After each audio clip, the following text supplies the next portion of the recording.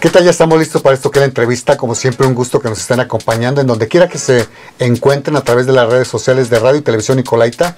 Es un placer, como les digo, que nos acompañen porque siempre hay información interesante que transmitirles a todos ustedes, invitados importantes que tienen algún dato que nos van a proporcionar.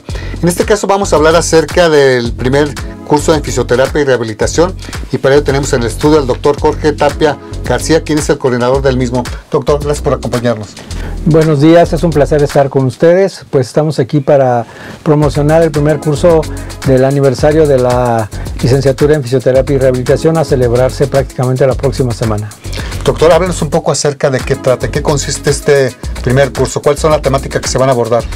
Los temas son bastante variados. La fisioterapia como tal es una ciencia relativamente nueva, pero se van a abordar temas relacionados con la rehabilitación en los pacientes eh, con lesiones osteomusculares, como puede ser la rodilla, con, con lesiones cardiorrespiratorias, con, con el manejo de los pacientes que están en general con alguna lesión eh, osteomuscular, pero también hay algunos otros temas muy interesantes como los, la rehabilitación de padecimientos neurológicos, el, uso de algunas armas como son por ejemplo la aromoterapia en el tratamiento de la fisioterapia y la, rehabilitación. Doctor, entonces estamos hablando que se tocarán temas de manera eh, médico alternativas que se aplican en lo que es la terapia. Pues, pues, no tanto alternativas, sino la fisioterapia es una nueva, podríamos decir que es una nueva herramienta de las ciencias de la salud que nos permite rehabilitar a los pacientes utilizando terapéuticas que ya están ampliamente demostradas su utilidad a través del conocimiento científico, a través de la electroestimulación, a través de aplicar eh, fibras, este, estimulación con láser, estimulación con ultrasonido, estimulación sensitiva, estimulación a través de los aromas. Entonces es, son, es, terapéutica que ya está altamente probada de manera científica y que pues a lo mejor no es del conocimiento de, muchas gentes, del general del público eh, en general, pero que ya, ya existen, entonces no podría yo hablar que es una terapia o una medicina alternativa, sino más bien son terapias que pues ya están, ya están ahí, entonces las estamos, las estamos implementando en esta licenciatura que ha tenido una demanda bastante importante en, las personas eh, que recién ingresan a, nuestra licenciatura. Y pues son aspectos que muy interesantes que ayudan al, restablecimiento de, muchos pacientes, pacientes los operados o pacientes que tienen, que tienen algún padecimiento cardíaco, algún padecimiento respiratorio, algún padecimiento este, inclusive desde el punto de vista también psicológico, también existen todas estas alternativas. Doctor, además de esto, ustedes están acompañando este primer curso porque es el aniversario precisamente de la licenciatura en fisioterapia y rehabilitación. ¿Cuál ha sido la respuesta que han obtenido de esta primera fase de estudios académicos? ¿Cómo ha sido la respuesta con los jóvenes? La respuesta ha sido muy favorable. Esta licenciatura la empezamos a trabajar con ella en el 2021 la creamos este, participamos en el, en el rediseño todo lo que fue el año 2021 y en el año 2022, el 11 de marzo del 2022, fue aprobada por el Honorable Consejo Universitario y posteriormente inició la primera generación el 16 de agosto del año pasado.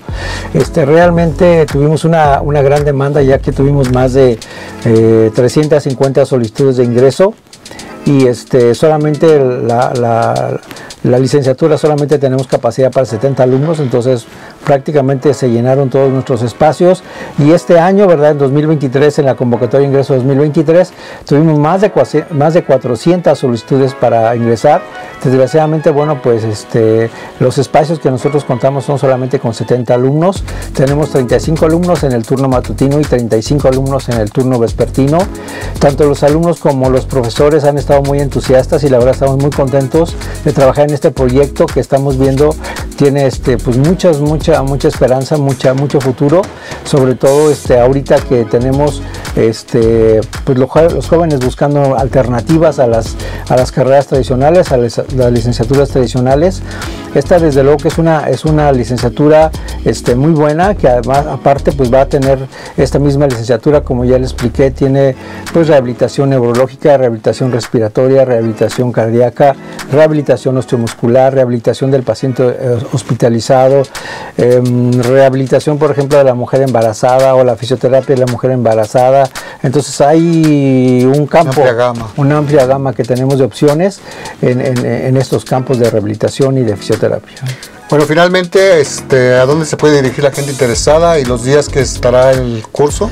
El curso se va a llevar a cabo el próximo 21 y 22 de, septiembre. Se va, se va a celebrar de el de 8 de la mañana a 2 de la tarde. Eh, nosotros tenemos, contamos con página eh, en Facebook, tenemos página en Instagram, entonces nos pueden buscar en nuestras redes sociales.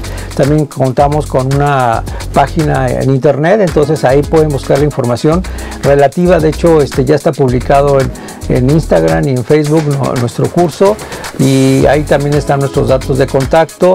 Eh, pueden, pueden, este, el registro se puede hacer directamente en la oficina de la licenciatura que está en Multides 2 y tenemos otra oficina en la Facultad de Ciencias Médicas y Biológicas. El curso va a ser gratuito, es totalmente gratuito para todos los alumnos y para todos los profesores de la Universidad de Michoacán de San Nicolás de Hidalgo.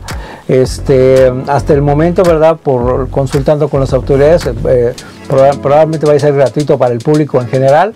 También estamos viendo la opción de transmitirlo, como contamos con página de Facebook, transmitirlo.